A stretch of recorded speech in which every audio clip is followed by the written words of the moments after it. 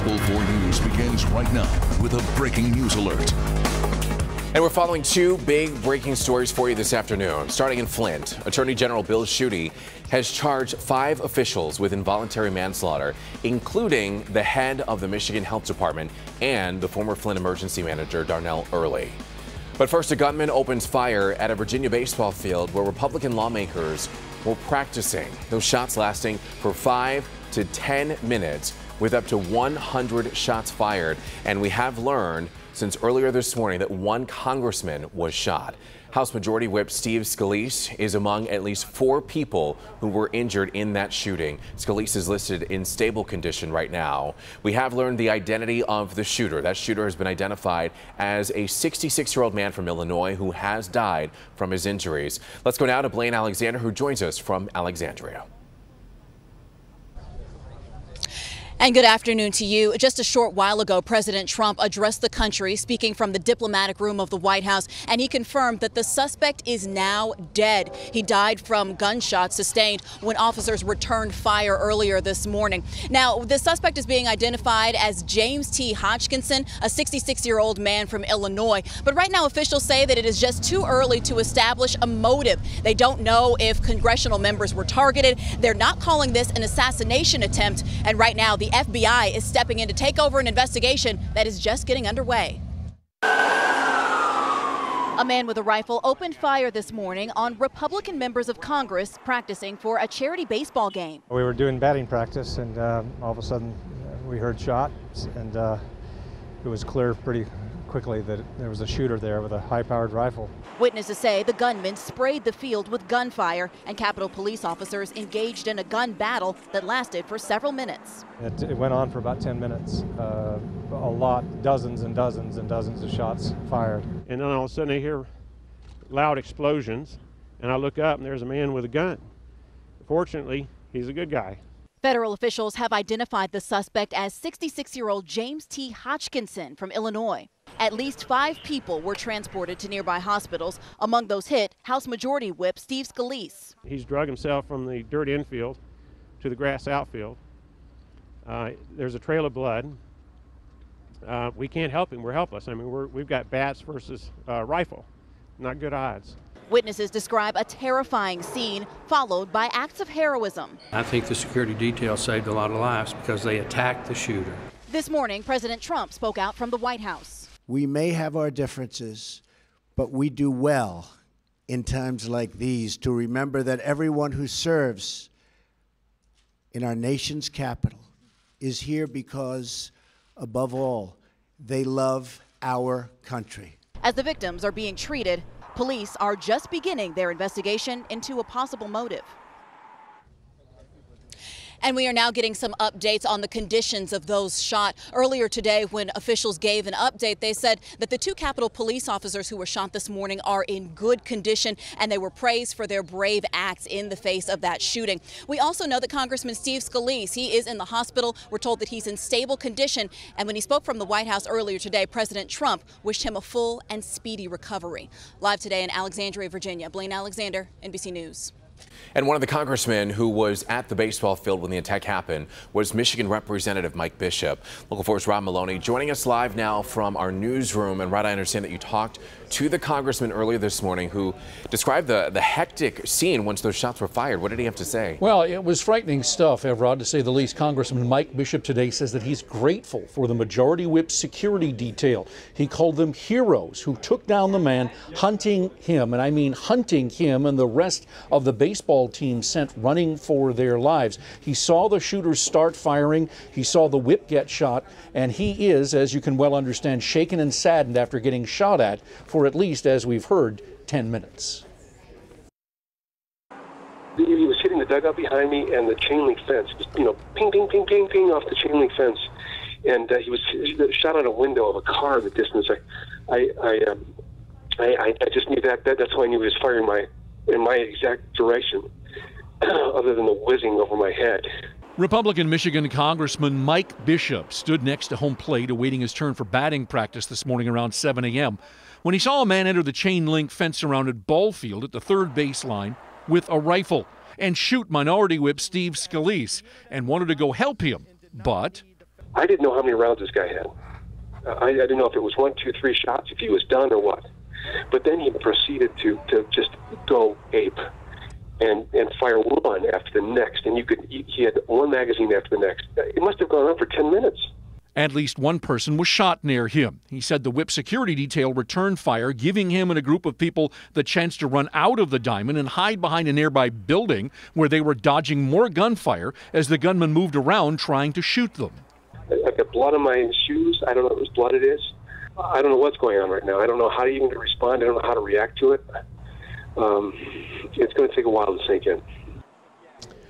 Well, the congressman says that he saw fellow Congressman Dr. Brad, Brad Wenstrup of Ohio rushed to the aid of the majority whip and performed life saving medical treatment at second base. The doctor has uh, uh, military experience and combat experience, and so Bishop said that he marveled at how calm the doctor was in saving the whip's life. Now, we have posted my entire interview with the congressman on clickondetroit.com if you want to hear that in full and the chilling account of this attack, and we'll certainly have more coming up on Local 4 News at 4, 5, and 6. Reporting live from the newsroom, Rod Meloni, Local 4. Oh, very chilling indeed, Rod. Hearing him describe those very moments, um, very scary, in fact. Thank you for, for the update there. Congresswoman Debbie Dingell was just on a radio show with Congressman Bishop earlier this morning. I got a chance to speak with her by phone just after she heard what happened. She even talked about fearing for her own safety at times. I try not to think about it because I know that I am a target or work in a place that's a target 100% of the time. Whenever I defend my constituents in Dearborn, the um, vilification um, that comes, and quite frankly, threats at times, is there. This is a baseball. It happens at, I mean, yes, this was members of Congress there, and fortunately, Scalise had his security there, or that what could have happened to these guys could have been far, far, far more devastating. We're just thankful that it was not. Stay with Local 4. We're going to have continuing coverage throughout the afternoon on clickondetroit.com. Our Kimberly Gill is also going to have live reports from Washington, D.C. starting tonight on Local 4 News at 5 o'clock. Uh, we're just thankful that uh, no one uh, else, there, no one lives were lost in this. We're also following breaking news from Flint now, where five officials are now facing involuntary manslaughter charges in connection with the Flint water crisis. Local 4 defender Kevin Dietz joins us now from Flint with more on the new charges filed today by Attorney General Bill Schuette. Kevin? Yes, and this is really about two things who was charged and who was not charged. Let's start with who was not charged. Governor Rick Snyder was not charged because investigators say at this time there isn't enough evidence. But they also revealed to us today that they tried to interview the governor and he refused. And while they have turned documents over at the governor's office, they're still trying to get additional information and documents that they have not yet received. Now let's turn to who was charged. Nick Lyon, the Director of Health and Human Services, he was charged with involuntary manslaughter, a very serious charge that alleges in that alleges recklessness involving death.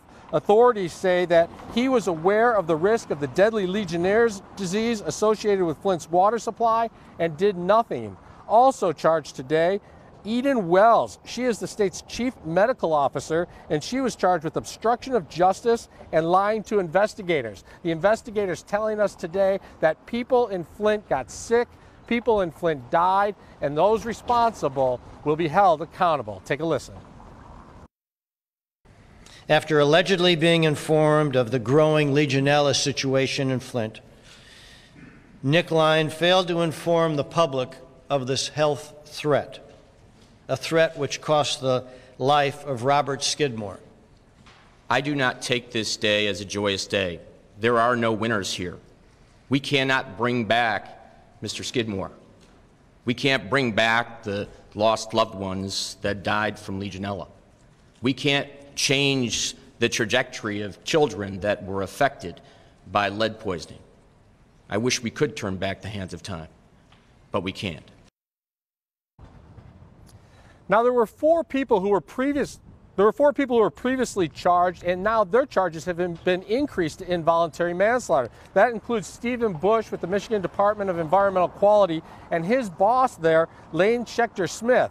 Also charged with involuntary manslaughter, Howard Croft. You may remember he was the City of Flint's Public Works Director, and Darnell Earley, who was Flint's Emergency Financial Manager. All of their charges have now been increased. 15 people in all are facing charges. 250 people have been interviewed. But as I said, the governor is not one of those. Investigators desperately want to interview him, but he has refused. We'll have much more coming up on this later today on Local 4. Kevin Dietz, Defenders. All right, and Kevin, we know you'll stay on top of it. Thank you. At least 12 people are dead after a high rise apartment building in London catches fire new at noon. The operation now underway to find survivors. Paul? Well, Evrod, we have some very beneficial rain here. It's been a dry month, and some of us getting a good downpour here at the midday hour.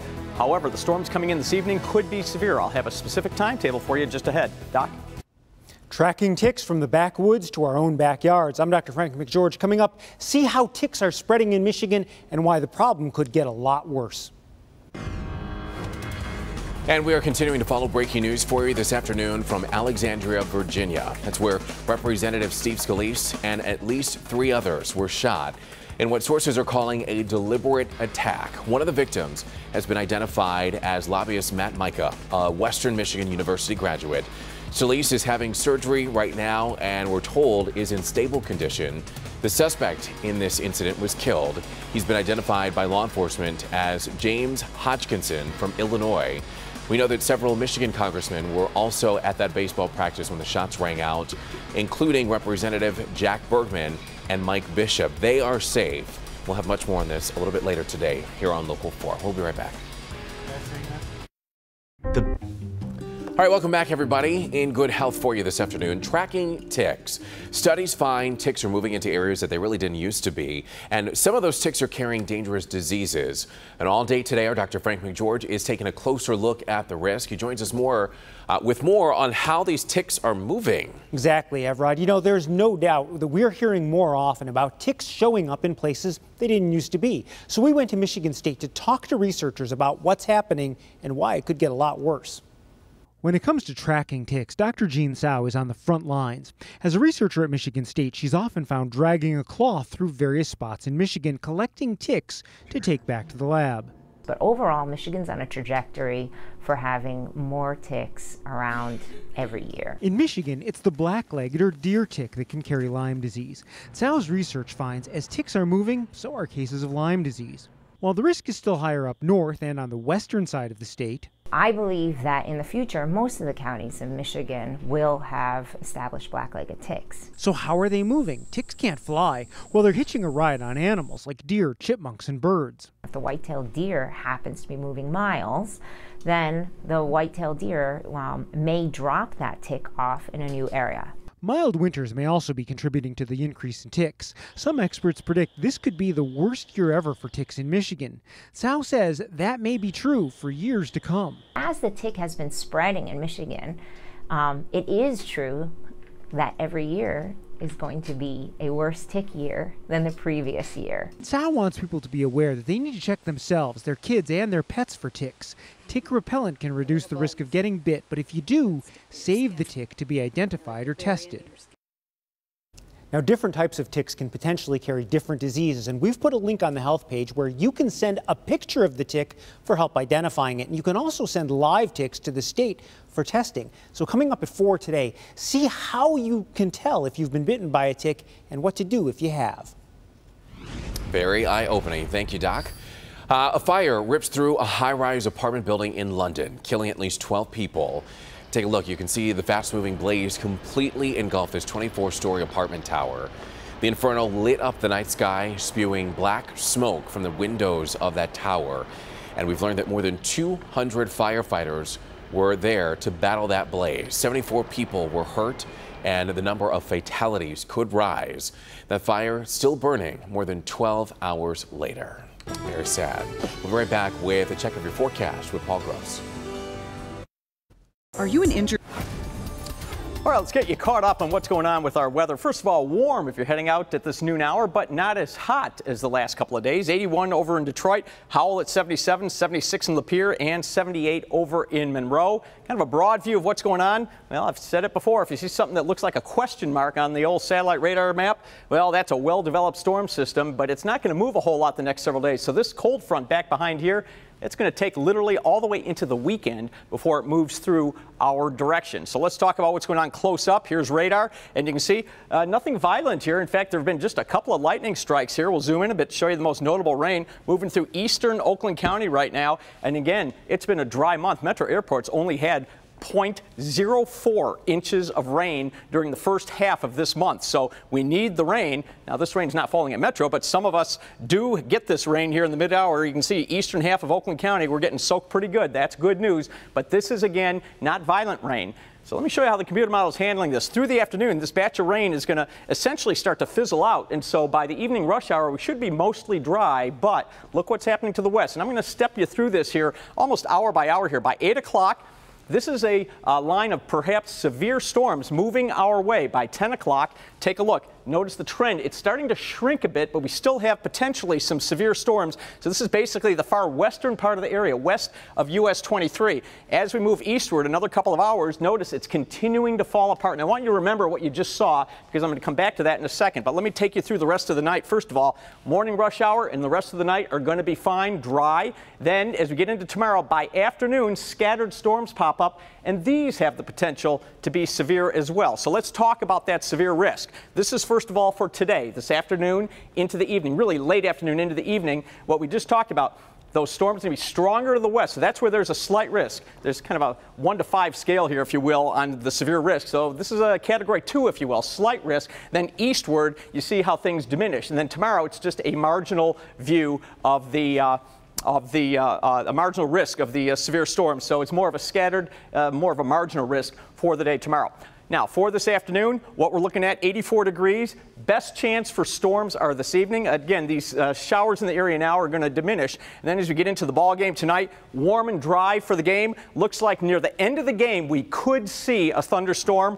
And then really the rest of the forecast, uh, warm through the weekend, then big cooling by early next week. Alrighty, Paul, thank you.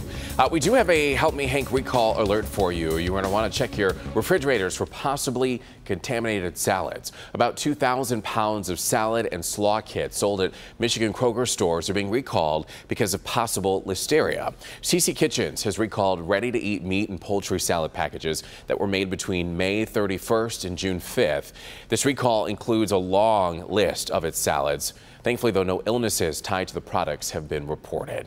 We'll be right back with an update to the breaking news that we are following out of Virginia in just a minute.